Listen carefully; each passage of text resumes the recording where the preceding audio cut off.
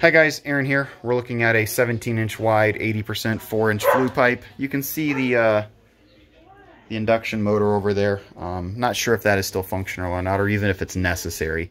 Um, this furnace is slightly oversized. We are going to be going with a cased coil instead of the uncased coil.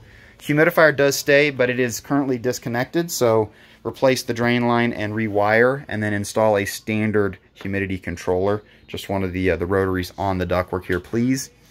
From there, AC sits outside right next to the, uh, or right basically on the driveway. And uh, we are going to be replacing the, uh, the thermostat and going with a um, Ecobee with the sensor. So we do need to install that wireless sensor. It's Aaron, 851. Call if you have any questions.